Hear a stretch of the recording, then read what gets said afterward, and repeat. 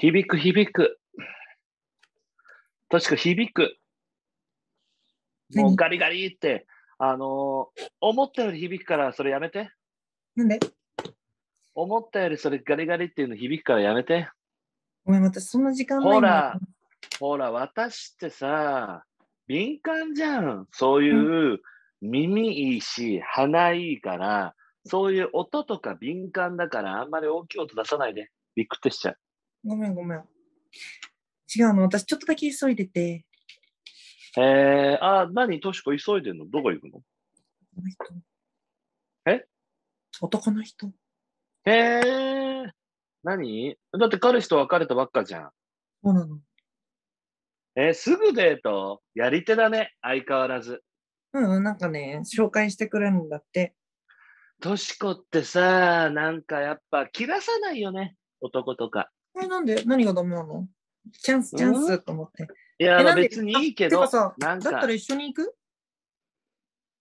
ああ、いい、いい、え、いい連絡してあげるよ？いい、いい、いい。なんで連絡してあげるのに？ほら、私ってさ、日本人の男苦手じゃん。ああ、そうかな。すっごい私さ、日本人の男って苦手なんだよね。あそういう足のやめ短いし。やめなよ、そんいやほら、もう顔立ちもさ、鼻も低いしさ、もうなんか嫌で、日え、な本んで人苦手じゃん、私。ほら、外国人好きだから、好きというか、まあ、相思相愛私、ほら、基本的に外国人からしかモテないじゃん、なかなか。いつも言うよね。なんか基本外国人からしかモテないじゃん。なんか妙にモテるけど、外国人にはめちゃくちゃ。いつも言うよね。でも、私としてはそれでいいわけ。だって私さ、日本人の男苦手じゃん。そうなった時に、外国人私好きだから、なんかほんと相思相愛って感じ。だからよく付き合えるよね、日本人の男と。え、すごいよ。だって普通に身長私、今日人だって184あるし、身長の話なんかしてないじゃん。言ってたじゃん、最初。あのさ、はい日本人の男ってマジで気利かなくない？その点、マジで外国人の男性ってみんな紳士、レディーファーストって感じで。うーん、そうかな。だっていつもご飯もご馳走してくれるし、席とかも引いてくれたりとか、なんかそいんなんさ、狙ってる時だけじゃん。あのさ、としこそろそろ気づいた方がいいよ。何？お日本人の男が女に優しくすんのは狙ってる時だけ。実際手に入れたら餌も与えない。それが日本人の男。よ日本く付き合え人るね。よく付き合えるよね。ねえ、自分はモテないだけだよ。あ はい。はい、それでいいです。私は日本人の男性にはモテません。確かに外国人の男性にしかモテません。それでいいんです。だって私日本人の男性苦手だから外国人の男性からだけでいいんです。一回インド行った時ちょっとモテただけじゃん。だよ、こいつ。マジウケる。あ、ごめん、まだそこ？え？え、一回私がインドにあのバックパッカーで行って、それでモテた話で止まってる？それだけをずっと言ってるんでしょ？ウケる。そこで止まってる。え？続きがあるわけ？R に決まってんじゃん。私、この前もバックパッカー行って、この前南米行って、南米で激モテ。南米？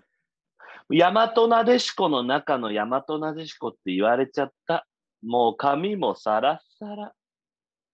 シュラスコに間違わられてるんじゃない？ああ、面白い冗談。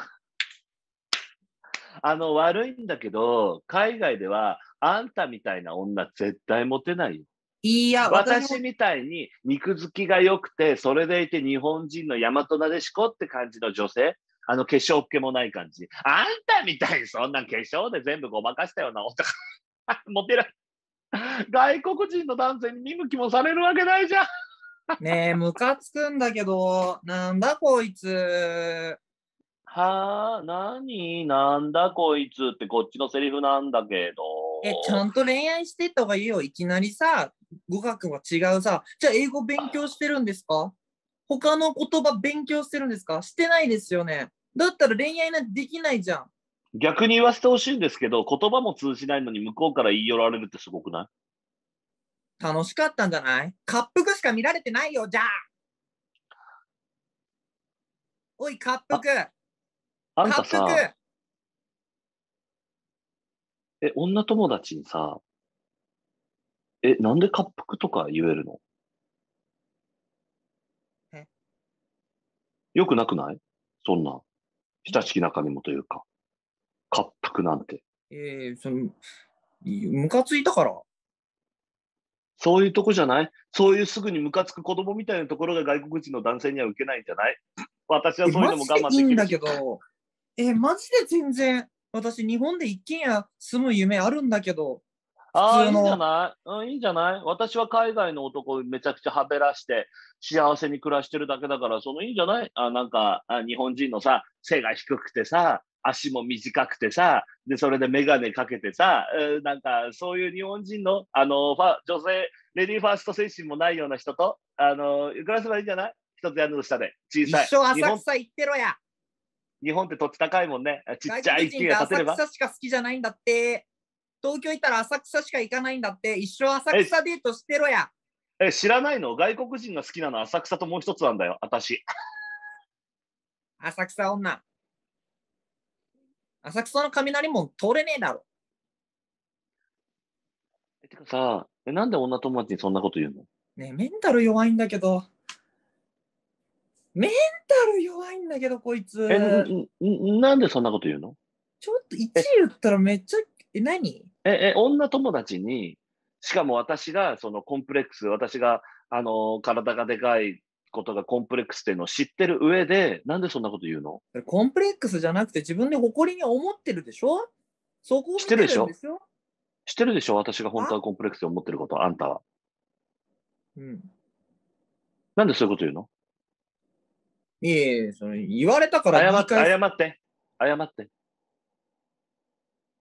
ごめん。いいよ、私外国人の男性にモテるから。ムカつくんだけど、それしかないじゃん。え、それしかないじゃなくて、それだけあれば十分なんだけど、他に何もいらないんだけど。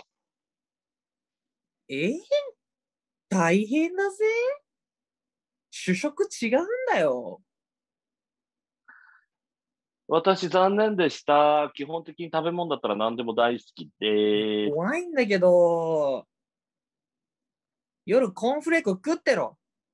夜コーンフレーク食って、朝パン食って、昼ナン食って、そのまま風船になって飛んでけよえ、ちょっとなんでそんな風船とか言うの？メンタル弱い。ね、多分無理、外国人と続かない。メンタル弱いもえ、なんでそんなこと言うの？ん。もう嫌だ。なんでそんなこと言うの？てか、謝って。風船って言ったこと謝って。外国人にも同じ攻め方するからな。日本語通じてないのに通じるのこういうとこなんだろうな。